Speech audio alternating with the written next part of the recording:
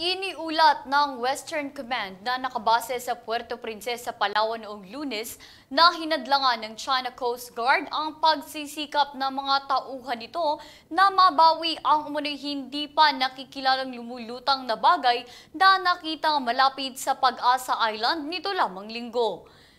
Nakatanggap umano ang Westcom ng ulat mula sa Naval Station Emilio Liwanag noong November 20 na nagsasabing bandang alas 6.45 ng umaga napansin mga tauhan ng NSEL sa pamamagitan ng long-range camera ang isang hindi pa alam na bagay na umaanod sa 800 na yards kanluran pag-as ng Pag-asa Island ayon yan sa pahayag ni Westcom Chief Vice Admiral Alberto Carlos.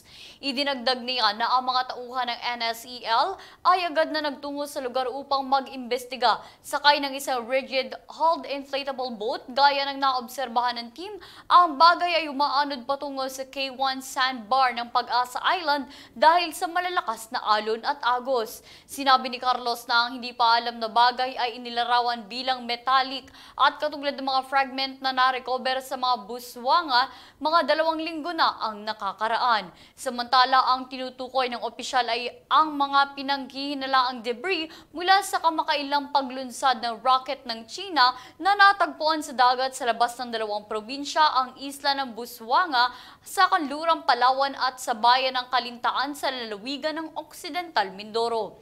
Agad na kinuha ng koponan ang lumulutang na bagay, itinali ito ng maayos sa kanilang bangka at sinimulan itong hilahin pabalik ng NSEL. Ngunit habang hinahatak ng koponan ng NSEL ang lumulutang na bagay, napansin nila ang CCG vessel na may bow number 5203 ay papalapit sa kanilang lokasyon at pagkatapos ay hinarangan ng kanilang pre-plotted course ng dalawang beses. Pagkatapos ay inilagay na CCGV 5203 ang RHIB nito.